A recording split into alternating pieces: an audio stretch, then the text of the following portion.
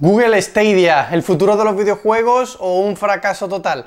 En el vídeo de hoy os voy a hablar un poco sobre eh, todo lo que se sabe a día de hoy sobre Google Stadia. Ayer fue la presentación con un poco más de información, donde vamos a conocer la fecha de lanzamiento de Google Stadia y también los precios, los juegos, o por lo menos algunos de ellos, y tal. Así que nada, eh, vamos a ver en este vídeo un poco la explicación sobre qué es exactamente Google Stadia para los que no lo saben todavía o no vieron el vídeo en el que lo expliqué, y vamos a ver ¿Qué futuro tiene esto, en mi opinión? Vale, vamos a empezar haciendo un pequeño resumen de qué es Google Stadia. Para que lo entendáis, Google Stadia no es más que una especie de Netflix, pero de videojuegos. Esto quiere decir que tú vas a pagar por una plataforma de Google que te va a permitir jugar a videojuegos con un solo clic, sin necesidad de instalarlo, sin necesidad de descargarlo, sin necesidad siquiera de tener un PC potente, porque todo se va a ejecutar de forma remota en un ordenador de Google.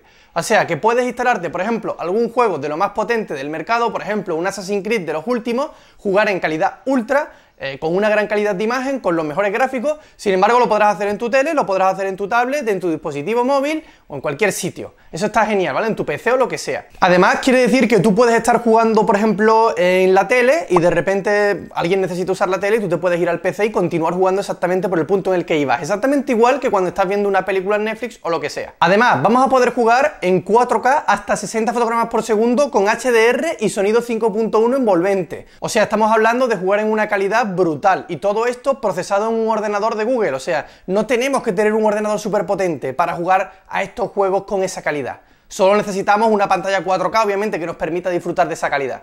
Así que, resumidas cuentas, pinta muy bien, ¿no? Un sistema donde vamos a poder jugar a un montón de juegos, vamos a poder jugar en cualquier plataforma, no necesitamos un PC potente, no hay que invertir miles de euros en un PC para poder jugar, que dentro de unos años se va a quedar obsoleto, ya que los propios sistemas de Google se irán actualizando.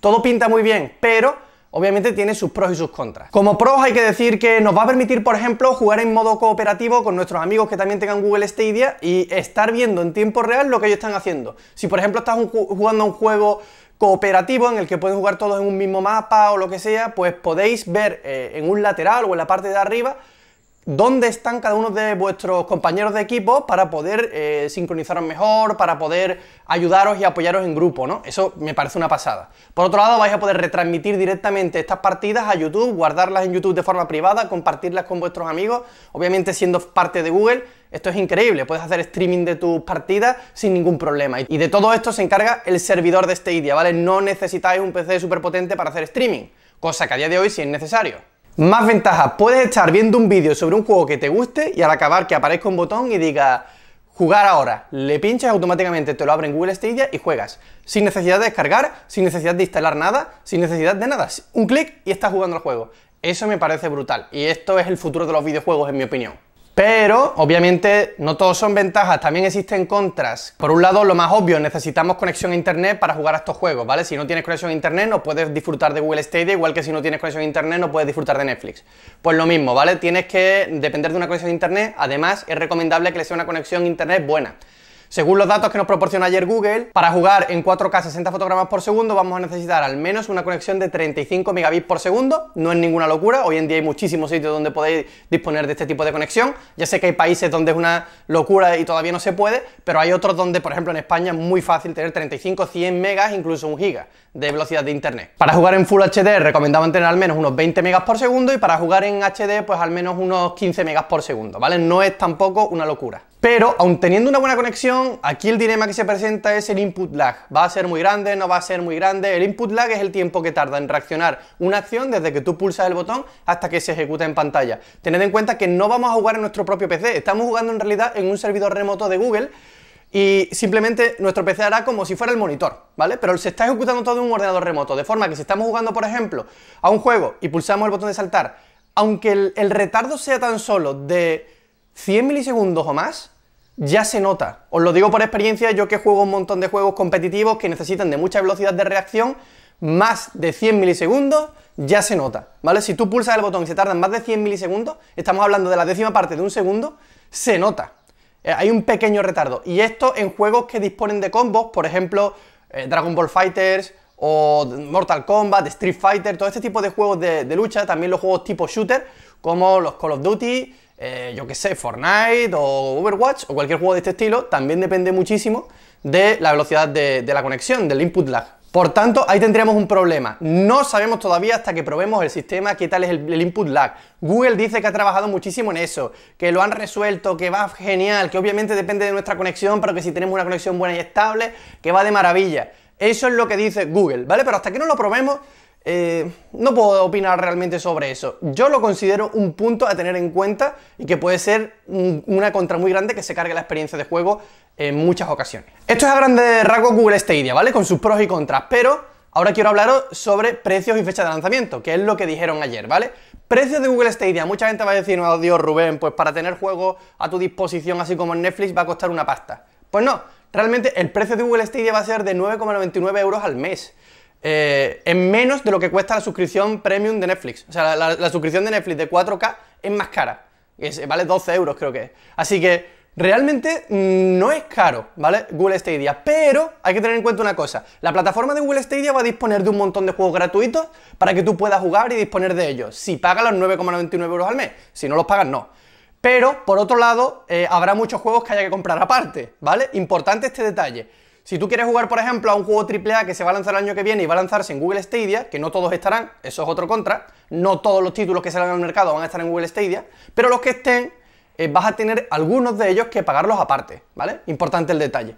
Mm, han dicho que la gente que pague los 9,21 euros al mes tendrá descuentos especiales.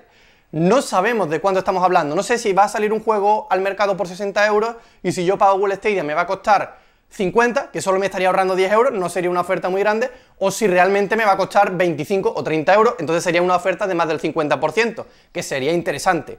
Como no han dicho nada, solo han dicho que si tienes Google Stadia Pro, que es esta versión de 9,29 euros al mes, eh, vamos a tener descuentos importantes. No sé de cuánto, pero va a haber descuentos. Además, como os digo, vas a disponer de un montón de juegos gratuitos para jugar online cuando quieras. Como en Netflix, que tú eliges una serie y la ves inmediatamente, pues igual, pinchas y juegas. ¿Qué títulos va a haber en Google Stadia? Bueno, han dicho unos cuantos nada más todavía. Yo voy a dejar por aquí un listado con todos esos títulos. Eh, algunos tienen buena pinta, otros ya están bastante vistos. Hay un poco de todo, pero la verdad es que tampoco hay nada sorprendente. Son juegos antiguos la mayoría de lo que puedes ver ahí. Así que yo creo que se han guardado cositas para el E3. En el E3 que es la semana que viene o la siguiente, vamos a poder ver ya un poquito más de información y más lanzamientos. Y estoy seguro de que siendo una empresa tan fuerte como Google, si el negocio triunfa, si este tipo de, sistema de videojuegos triunfa, estoy seguro de que en un futuro irá incluyendo más y más y más juegos a un nivel brutal. Pero a día de hoy es cierto que los títulos que hay a mí no me llaman especialmente la atención. Hay algunos buenos, sí que es verdad, pero no es algo que tú digas, ¡buah! Titulazo tras titulazo. No, no es el caso. Por último, hay que decir que la fecha de lanzamiento de Google Stadia Pro será en eh, noviembre de este mismo año, 2019. Vais a poder empezar a disfrutar de este sistema. Sí que es verdad que para el año que viene, para 2020, Google planea lanzar una versión de Google Stadia base, versión base, que quiere decir una versión gratuita, donde vas a poder acceder a Stadia y comprar los juegos, pero sin descuento, ya que tú no vas a pagar los 9,99 al mes, así que valdrá lo mismo que cueste en cualquier otra tienda, y sin juegos gratuitos. O sea, si tú pagas los 9,99 al mes, vas a tener un pack, no sé de cuántos juegos exactamente, todavía no lo han dicho, de X juegos que vas a poder disfrutar gratuito. Pero si tú no pagas esos 9,99 al mes, no vas a tener esos juegos gratuitos. Otra cosa que han dicho es que si tú estás suscrito a Google Stadia eh, Pro y compras juegos y luego, mm, por lo que sea, dejas de pagar, todos los juegos que ya hayas comprado seguirán disponibles en la versión gratuita. Eso sí es importante también destacarlo. Si tú has comprado 8 juegos, te has gastado el dinero en Google Stadia Pro, pero ya no quieres seguir pagando 9,99 al mes, cuando pases a la versión base vas a seguir poder disfrutando de esos juegos que tú has comprado. En fin, esto es un poco la información que tenemos hasta ahora, es un poco lo que podemos saber hasta ahora de, Google Stadia. Seguro que en el E3 se va, a ampliar, se va, a ampliar, un poco la información y seguro que conforme vayan avanzando los meses, pues tendremos más títulos y habrá un poquito más de información. Os iré eh, sacando vídeos explicando un poco cada novedad que vaya saliendo si considero que son importantes y me gustaría saber vuestra opinión. En mi opinión, yo creo que este es el futuro de los videojuegos. Realmente considero que el futuro está en el streaming, aunque mucha gente diga, ah, necesitas conexión a internet. Es que hoy en día, obviamente necesitas conexión a internet, pero es que hoy en día, ¿quién no tiene conexión a internet? Es muy raro no tener conexión a internet en cualquier país del primer mundo. Así que, si quieres, hoy en día tienes conexión en tu tablet, en tu móvil, en tu televisor y en tu ordenador. O sea, es que se da por hecho que la vas a tener. Así que yo no lo veo un contra el hecho de requerir conexión a internet. Lo que sí que es verdad es que estás pagando una cuota, es verdad que hay que ver cuántos juegos hay disponibles, pero bueno, os digo lo mismo que pasó con Netflix. Netflix al inicio pasó igual.